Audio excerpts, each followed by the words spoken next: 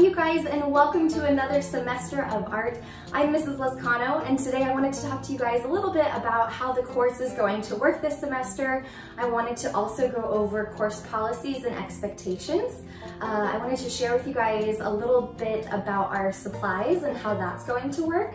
And I also wanted to just give you a little bit more info about me so you can get to know me a little bit more too.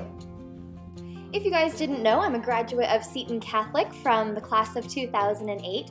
After that, I went to Arizona State University where I studied art education as well as sustainability. Here at Seton, I teach Art 1, Art 2, AP Art and Design, and I also moderate a couple clubs like Sign Language Club and National Art Honor Society. I just wanted to share with you guys a little bit of my personal artwork that I like to do on the side.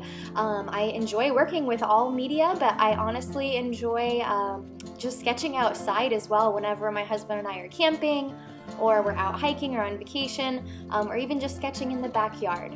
So I'm excited to share with you guys uh, the things that I'm passionate about and what I've learned along the way. The two objectives that I have for all of my classes are to learn how to express yourself, be creative, and come up with multiple solutions to a single problem. Also to learn the foundations of drawing and painting, and learn how to use the elements and principles of design. As far as supplies go for this semester, for the first few projects, I'm going to have uh, minimal supplies required, just paper and pencil. Um, however, all students are required to come to class every day with a sketchbook. This can be an actual sketchbook or it can be a makeshift one with um, blank paper inside of a binder. Now, looking ahead, if we continue to stay online through September, uh, or if you choose to work from home, then I will have supply kits available for you guys to uh, pick up on campus, and those will last you for a little while. For every project, I'll have a video tutorial for students to follow along with and repeat as many times as necessary to show them the step-by-step -step process of how to create the artwork that we're working on. Here are some important policies that you will need to know for my classes. The first thing is to come prepared. Make sure that you show up to class with your sketchbook as well as a pencil and an eraser.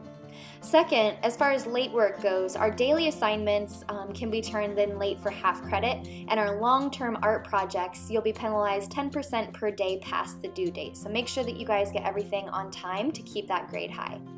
The other policy that you need to know about is absences and extensions.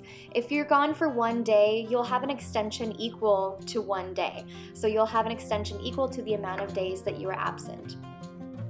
One question I get asked a lot is how do you grade artwork? You'll see in front of you the five categories that I use to grade artwork, and you'll find the similar rubric on Canvas. The first category is composition and design. How well is the image created in terms of balance, proportion, and figure ground relationships?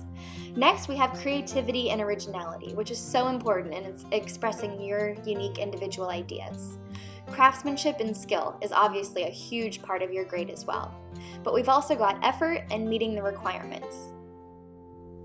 If you have any questions at all, please send me an email at clezcano at setoncatholic.org, or we can also set up a Google Meet if you'd like to meet virtually.